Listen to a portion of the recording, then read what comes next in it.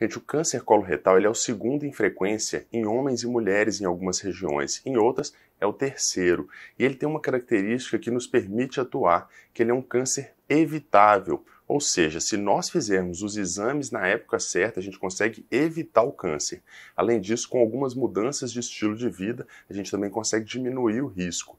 Então, eu vou falar para vocês aqui sobre a prevenção, o rastreamento e o que pode ser feito para a gente orientar o nosso público. Primeira coisa, o rastreamento. Gente, o câncer coloretal, hoje em dia, o rastreamento deve começar aos 50 anos. Algumas sociedades já têm mudado para 45 anos. E como que é feito esse rastreamento? Bem, no Brasil a gente tem duas opções que são as mais disponíveis. A primeira opção seria o uso do exame de pesquisa de sangue oculto nas fezes. Esse é um exame que vai detectar mínimas quantidades de sangue nas fezes e que vão indicar quais pacientes precisam fazer a colonoscopia. Esse exame deve ser feito anualmente, sempre que der negativo. Então, começando aos 50 anos, a pessoa vai fazer o exame todos os anos. Sempre que der negativo, vai repetir no ano seguinte. Uma vez que esse exame der resultado positivo, essa pessoa deve fazer então o exame de colonoscopia.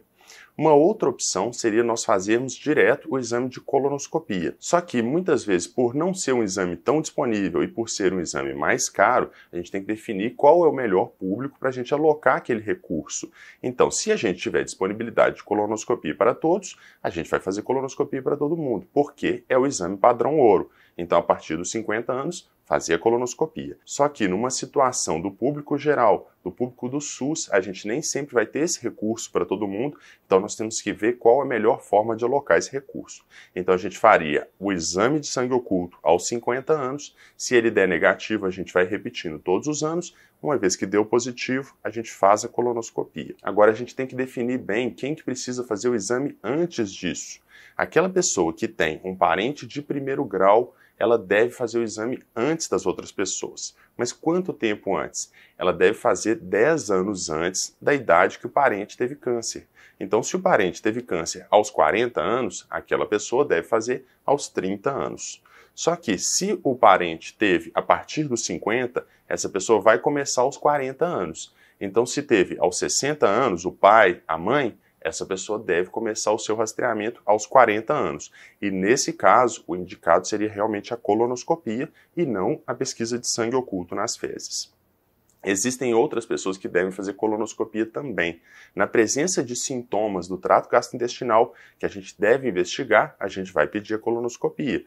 Então, aquela pessoa que tem sangramento gastrointestinal que não está bem justificado, por exemplo, por hemorroidas, fissuras, aquela pessoa que já tem um risco aumentado, essa pessoa a gente já vai fazer a colonoscopia. A colonoscopia pode ser usada também na pesquisa de outros sintomas, por exemplo, dor abdominal e alteração do ritmo intestinal, que são sintomas de alerta para a gente pensar na possibilidade de câncer. Então, a pessoa que tem uma dor abdominal que não está se resolvendo, uma dor recorrente ou um padrão tipo cólica, essa pessoa deve fazer uma investigação do trato gastrointestinal, muitas vezes a gente vai pedir a colonoscopia. E o sintoma principal do câncer coloretal seria a alteração do ritmo intestinal. Agora, gente, nós temos que lembrar que 70% dos cânceres coloretais não causam sintoma nenhum. Ou seja, a pessoa não tem nem a suspeita. Por isso que a gente deve fazer o exame de rastreamento na idade certa. A pessoa que não tem sintoma nenhum, não sente nada, deve fazer naquela idade. Então, 50 anos para a população geral, ou 45, dependendo do protocolo, e 40 anos ou antes naquela pessoa que tem parente de primeiro grau com câncer. Lembrando que a colonoscopia tem indicação em outras situações também que não são o câncer coloretal. Numa pessoa que tem doença inflamatória intestinal, então doença de Crohn ou retocolite ulcerativa, essa população também tem um risco aumentado e deve fazer o exame em um protocolo separado. Nesse caso, a gente vai fazer colonoscopia em intervalos de acordo com a doença daquela pessoa. Agora, e os fatores de risco para o câncer coloretal?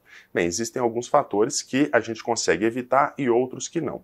Como eu falei, o fator genético, então aquela pessoa que tem um parente de primeiro grau, esse fator não é evitável. A pessoa tem aquele parente, deve começar antes. Além disso, fator de risco, a idade. Então nós vamos fazer a colonoscopia nessa idade certa que eu falei.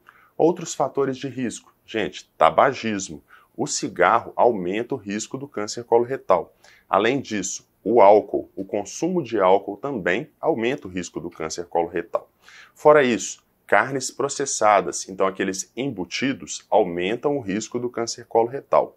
A carne vermelha já foi relacionada ao câncer coloretal em alguns estudos, mas não é a mesma relação da carne processada. Então a carne vermelha, qual que deve ser a recomendação? Que não se coma com exagero. Então limitar a três vezes por semana e vamos evitar aquele tipo de preparo que a carne entre em contato com altas temperaturas ou em contato com a chama diretamente. Então o churrasco, por exemplo, a princípio aumentaria o risco de câncer. Além disso, gente, sobrepeso e obesidade aumentam o risco de câncer. O paciente que tem um IMC acima de 30, a cada 5 pontos do IMC que aumenta, o risco aumenta de 10 a 30%.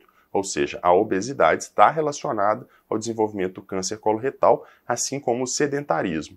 Então, quais são os fatores que vão diminuir o risco? O que, que vai diminuir o risco, gente? Um estilo de vida saudável. Então, prática de atividade física diminui o risco, a ingestão de cereais integrais. Então, a gente deve orientar o nosso público-alvo a quê? Trocar o arroz branco pelo arroz integral, o pão branco pelo pão integral, comer cereais integrais, grãos.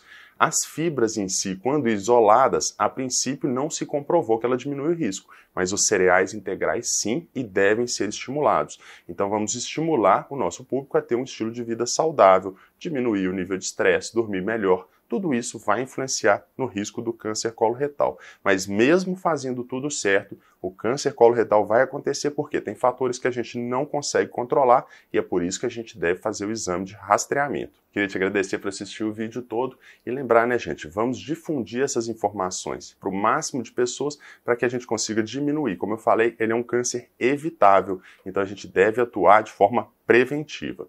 Muito obrigado e até a próxima.